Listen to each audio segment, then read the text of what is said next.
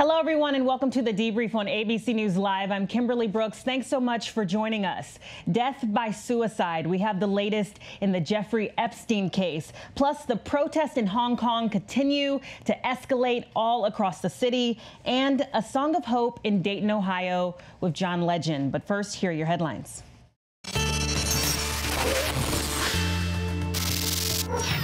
Lawyers for Bill Cosby will be in a Pennsylvania courtroom today appealing his sex assault conviction. 82 year old comedian is serving up to 10 years behind bars for assaulting Andrea Constand. Top U.S. immigration officials are defending the sweeping crackdown on undocumented workers in Mississippi. Children were left sobbing because their parents were detained at food processing plants. Now the Trump administration is under fire for punishing workers and not punishing their employers. But officials insist the immigration crackdown will likely lead to charges against the companies. This was a joint criminal investigation with ICE and the Department of Justice targeting worksite enforcement, meaning companies that knowingly and willfully hire illegal aliens. In most cases, mm-hmm. they can pay them reduced wages, exploit them further for their bottom line. That's what this investigation was about. The crackdown took place as the president traveled to El Paso after the deadly mass shooting targeting Mexicans. The acting Homeland Security Secretary called the timing unfortunate. Relief for a Tennessee family now that an escaped prisoner has been caught. Curtis Watson is accused of killing prison administrator Deborah Johnson. Watson was caught after being spotted on a residential doorbell camera. Tesla has not yet commented on this fiery crash involving a Model 3. The driver says the electric car was in driver assistance mode, not quite full autopilot mode, when he slammed into a truck stopped on a Russian highway. He says he didn't see the truck and apparently neither did the crash avoidance system. That driver suffered a broken leg but escaped from the car. Previous crashes have raised questions about the safety of automation in vehicles. Tesla has said when properly used, drivers supported by autopilot are safer than those without it.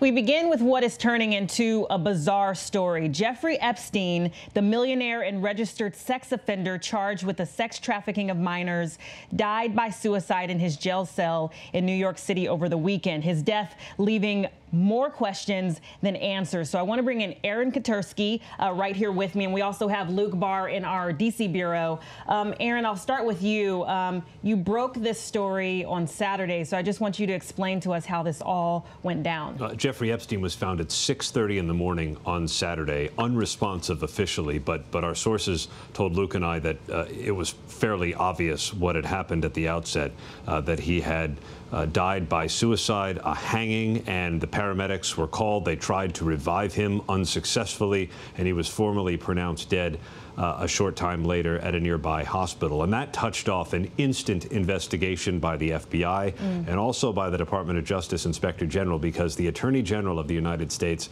was said to be livid over this mm. as Epstein was about to face trial next year on counts of sex trafficking and sex trafficking conspiracy. Absolutely. And Luke, um, for clarity, he was on suicide watch before. Um, I want to know, was he on suicide watch at the time of his death? Uh, well, no, you know, no, he wasn't. Reports have indicated uh, that he was off suicide watch. Uh, and, and there's a big difference between being on suicide watch and being in the special housing unit mm-hmm. uh, where he was uh, housed, which is that you know when you're in the special housing unit, you're checked usually uh, every 30 minutes. When you're when you were on suicide watch, you're checked by uh, officers every 15 minutes. Um, and clearly, reports uh, have indicated that he was not uh, on suicide watch, uh, and the BOP has uh, confirmed that in a statement over the weekend. And so, Aaron, um, when this happened, um, just that morning, lots of documents had been released uh, regarding this case. What do we know about those documents and what were in what were in those documents? Yeah, at the moment, it's purely coincidental that the documents came literally hours before Jeffrey Epstein took his own life. But the documents are part of a civil lawsuit uh, filed by a woman, an Australian woman, uh, Virginia Roberts, who said that she was trafficked by Jeffrey Epstein.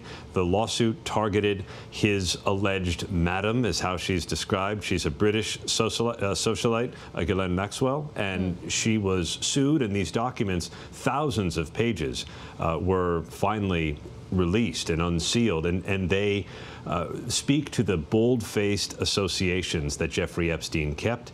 Uh, Virginia Roberts said that she was uh, meant to have uh, sexual relations with uh, the former governor of New Mexico, Bill Richardson, former Senator George Mitchell, uh, um, including and then Epstein himself. All these men have denied by the way, even an association with this woman and, and, say they never met her through Epstein. But it only fuels the, the conspiracy fire when it comes to Epstein's death because of the prominent company that he once kept and who may be, um, if not uh, uh, joyful necessarily, who may be okay with Epstein no longer being in the picture. Because had he yeah. stood trial, um, who knows what he would have said publicly to a jury? Yeah, what would have been uncovered um, in that courtroom. So, Luke, you know, what was the protocol? They also, um, there were reports that his cellmate was removed. What's going on in this investigation? Uh, so there, so there are a lot of unknowns right now, Kimberly. Uh, you know, the, the protocol is usually when you're in special housing, you can have a cellmate, uh, you know, but there are a lot of questions as to uh, what happened. Uh, we reported last uh, two weeks ago that Epstein had a cellmate at the time that he um, tried to tried to commit suicide, but just there are a lot of unknowns, and, and BOP and DOJ and FBI are investigating right now, and hopefully we'll have some answers soon.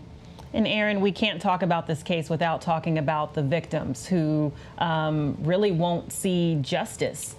Not in the way that they certainly had hoped. I, I, remember sitting in the courtroom after Epstein was first charged and he was brought in before a judge in blue prison scrubs. And one of the, the alleged victims commented that that, at the defense table in, in a prison smock, that is where Jeffrey Epstein belonged. And so that that satisfaction, that measure of justice to have allegations aired in a criminal proceeding will not continue. However, his criminal case does continue.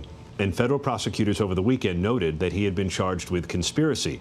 Mm. It takes at least two to tango in a conspiracy, as alleged. And so the possibility that other defendants may be named in the case, right now it was only Epstein in the indictment, but there's certainly the possibility of others charged. And federal prosecutors and the FBI still want women to come forward if they believe they were trafficked by Jeffrey Epstein, and the feds are promising to continue to evaluate those accounts. And before we go, um, is anyone going to be blamed, uh, if you will, for him dying? Well, there's clearly a number of failures. As, as, Luke says, we know that the guards were supposed to check on, on inmates in special housing where Jeffrey Epstein was at MCC Manhattan every 30 minutes. That protocol was not followed. He should have had a cellmate. He was found alone. There are cameras in the cell block, but we're not sure that any were actually trained on his cell. And if they were, we're not even sure that they were working. Mm. So there's clearly uh, a number of failures here. And the Attorney General, William Barr, who's been speaking in Louisiana at an unrelated event, just said he's appalled by the failures at MCC Manhattan. Yes. Um, so Luke Barr in our DC bureau, Aaron Katersky right here with us. Uh, we appreciate the updates, guys. And we move overseas to a frightening story out of Norway. Um, as Muslims around the world were celebrating a major Islamic holiday, a 21 year old man entered a mosque near Oslo and opened fire before an older man pinned him down. And thankfully, no one was killed in the attack. Um, I want to bring in James Longman in our London bureau. James, good to see you. Um, a very scary situation. Where does this investigation stand? Yeah, Kimberly, absolutely terrifying for all concerned. And actually, we're seeing the first images of this young man, this 21-year-old uh, you mentioned there, in court today for a hearing. And actually, extraordinarily, he seems to have been pretty badly beaten up. He's got two black eyes, pot marks all over his face, scratches on his neck. Uh, it's unclear how he got these injuries, but he seemed pretty pleased with himself. He was smiling at photographers. But let's rewind a little bit to what happened on Saturday afternoon when he is alleged to have gone to the Al Noor Mosque, which is a mosque just outside of Oslo, the capital of Norway, with a number of weapons, we're told. One uh, eyewitness told local news that they saw two shotgun-type weapons on him. He was wearing a helmet, and he burst into this mosque, but was almost immediately uh, brought to the ground by a worshipper, 65-year-old Pakistani man, a former Air Force officer, brought him to the ground, took his guns off him and pinned him there, waiting for authorities to come uh, to the scene. He was a little bit injured in that um, altercation, but thankfully nothing life-threatening. But when authorities did work out who this individual was. He's being named, by the way, locally as Philip uh, Manshaus. When they went to his home, they found the body of a 17-year-old girl, and that turned out to be his stepsister. So authorities are charging him with her murder. But like I say, he appeared in court today looking very happy with himself, but prosecutors are uh, trying to get an extension to his custody time, want to keep him there for four weeks, want to make sure that he doesn't have access to the media during his time in prison because there is some suggestion that this man uh, has right-wing tendencies. He has been posting online and local media has been talking about how he'd made a specific post on a forum about the attacks in March that took place in Christchurch when a man went into two mosques there and killed over 50 people. We'll all remember that. That was a, an extraordinarily sad event. This man seems to have made a reference to that and has uh, anti-immigrant, anti-Muslim sentiments. And so that seems to have been his motive on this occasion. Uh, we'll see certainly what happens in the trial. But thankfully, this wasn't any worse. And thanks to that brave, the brave actions of that individual who pinned him to the ground.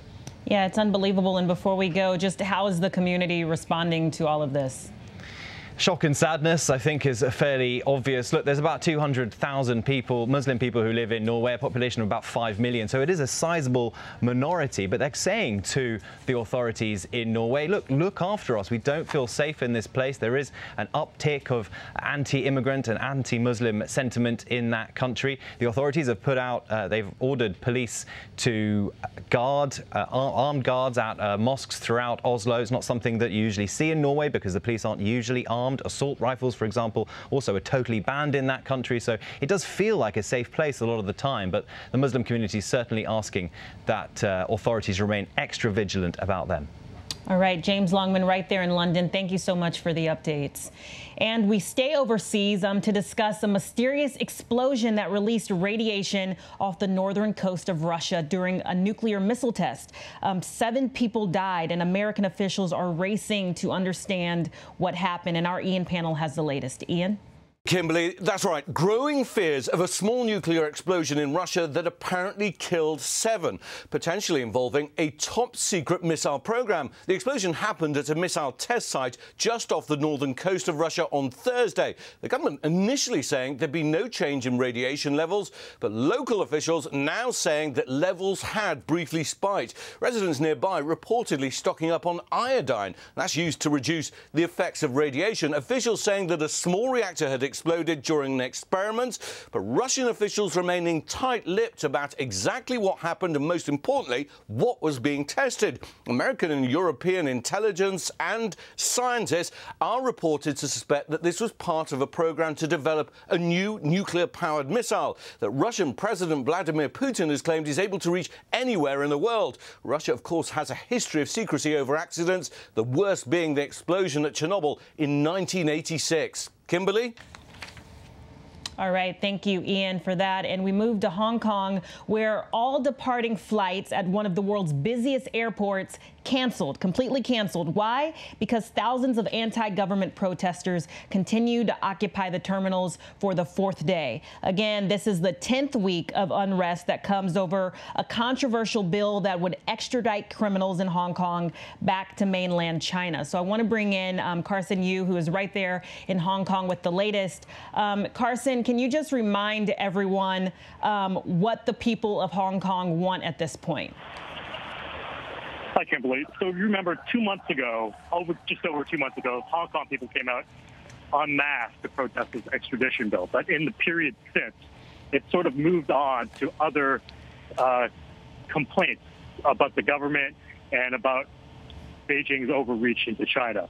And increasingly, it's about police conduct in clearing out protesters. And today, specifically at the airport, the protesters are protesting against a very violent clearance operation last night in a shopping district where a protester was shot in the eye with a beanbag ring.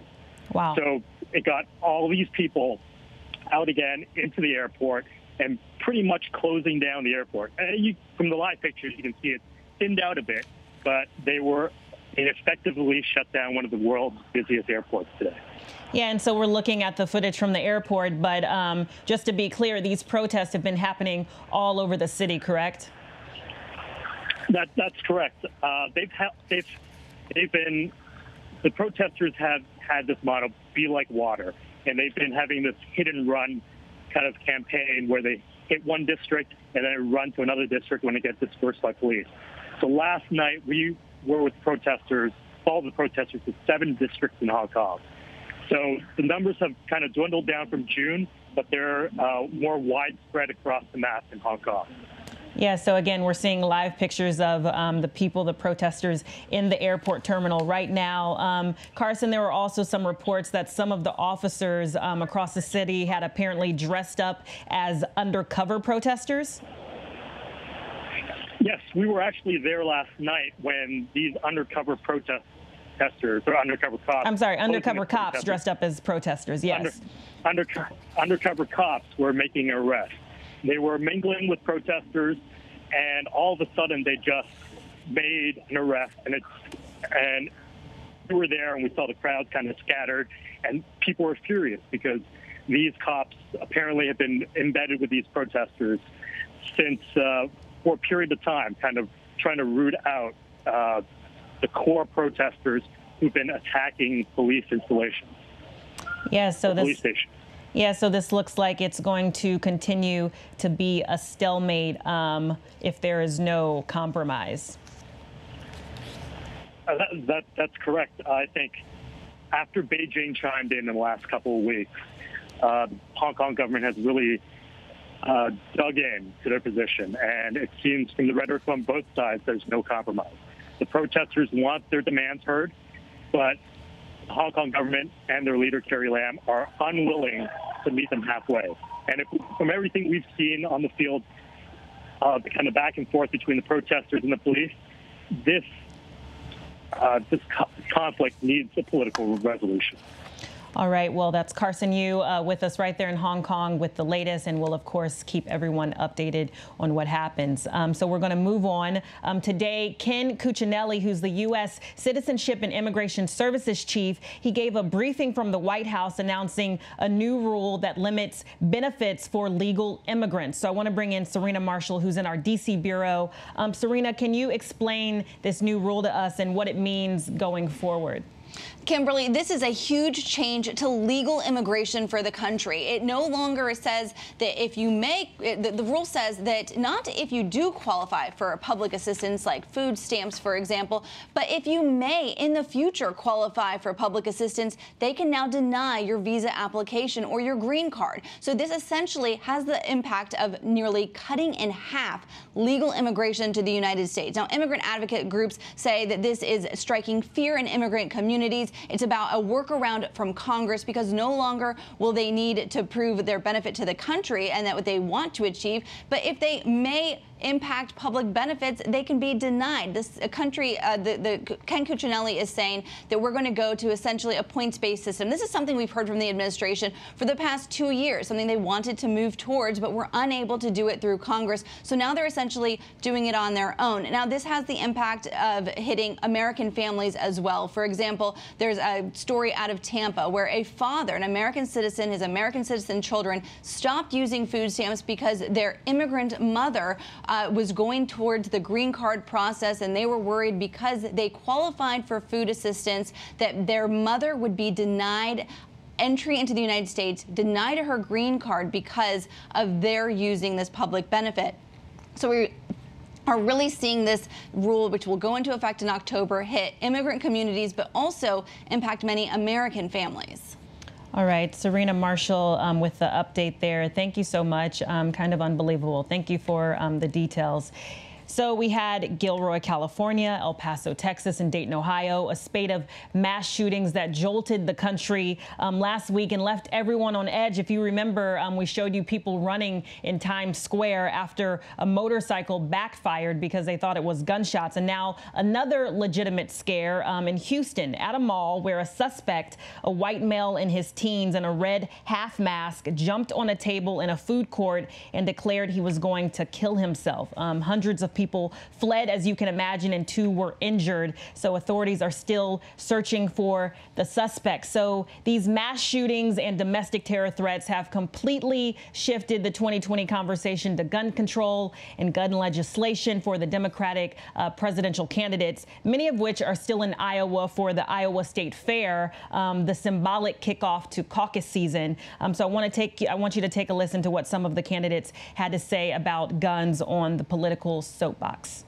If Mitch McConnell doesn't call us back to vote on a bill, then when we are elected, I will give the United States Congress 100 days to pull their act together on this and put a bill on my desk for signature. And if they do not, I am prepared to take executive action. Mitch McConnell should call back the United States Senate today.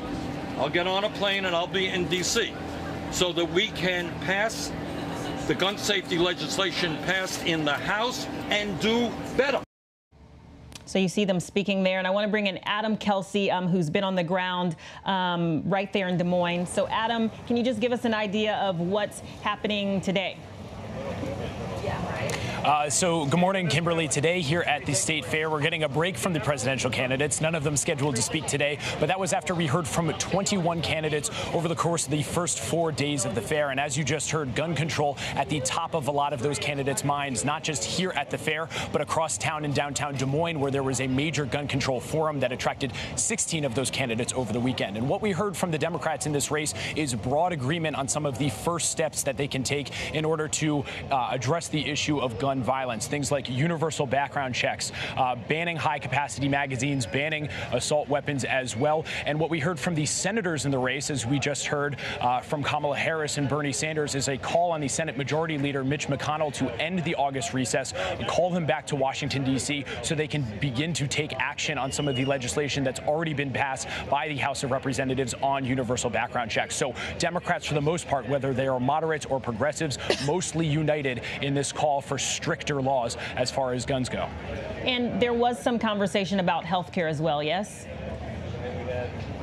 Yeah, Kimberly, that continues to be one of the top issues for voters when we talk to the folks here at the state fair. And what we're seeing is uh, the disagreements over Medicare for all versus reforming uh, the current system, the Affordable Care Act, uh, known as Obamacare, uh, continues to be the debate between the moderates and the progressives in this race. And there was quite the juxtaposition yesterday when we heard from Colorado Senator Michael Bennet, one of the moderates in this race, right before uh, independent Senator Bernie Sanders, the author of that Medicare for all bill. They went back to back on the soapbox here yesterday. Let's take a listen to what they said. I believe the fastest way to universal health care in this country is to give every family in America the opportunity to make a choice for their family whether they want to stay on the private insurance they have or whether they'd like a public option administered by Medicare. I just believe it. And I know Bernie's coming up here after me, so and and and and but I but I just don't believe that the American people are ready to take away insurance and the choice for insurance from 180 million Americans and charge the middle class in America $33 trillion in taxes. I don't believe it. What we have seen in poll after poll after poll is the American people want us to move to a Medicare for all single payer program. And that means no deductibles.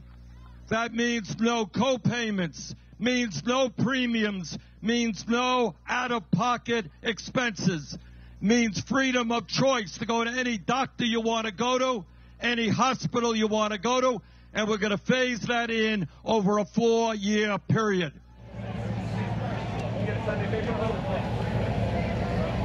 So Sanders there, along with Elizabeth Warren, attracting some of the largest crowds we've seen this weekend. Uh, but as I mentioned, this debate over health care, the Medicare for all on the progressive side, uh, those tweaks to the Affordable Care Act on the moderate side, and not a debate that we're expecting to go away anytime soon. Kimberly?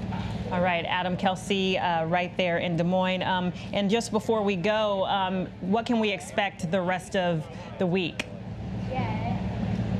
Yeah, so we've still got two more candidates the rest of the week. Seth Moulton next weekend, and a big name, South Bend, Indiana Mayor Pete Buttigieg, uh, who's been the talk of this fair, even though he hasn't been here yet, in second place in the Cast Your Kernel uh, straw poll type tent that we've seen. Uh, he'll be here tomorrow speaking on the soapbox. All right. Thank you, Adam, so much for those updates. We appreciate it. And guys, after that horrific tragedy in Dayton, Ohio, um, a little bit of hope. As you know, a mass shooting in the city left nine people dead. Um, still, a city still grappling with how to cope. Well, yesterday, um, John Legend, a native of Springfield, Ohio, made a surprise visit to Dayton. He spoke about gun reform and he did what he does best. He lifted spirits with songs. So he was right there in the Oregon district, um, shopping with the mayor, um, speaking to the people, and then um, he was at Blind Bob's, a bar in the Oregon district, um, blessing the people with a song, and it was it was absolutely beautiful. Um, something that the city needs. And speaking of legends, uh, can you say triple double? Um, because that will most likely be in your conversation this week if you're talking to your friends or your coworkers about Simone Biles, the gold medalist, made history yet again by landing it, the first woman in history to ever do it. Watch it again right there, a triple double, her first pass on her floor routine. She's absolutely unstoppable. And we may not be able to do that, but we can at least take that energy into this week to be great and take care of yourselves. And I hope you guys continue to take care of yourselves. And if you're around, you can stick around for the briefing room at 3:30 p.m. And then you can check out World News Prime at 8 p.m. And if you want to stay updated on all of these headlines and these stories, you can go to abcnews.com or download the app. I'm Kimberly Brooks, and I will see you tomorrow.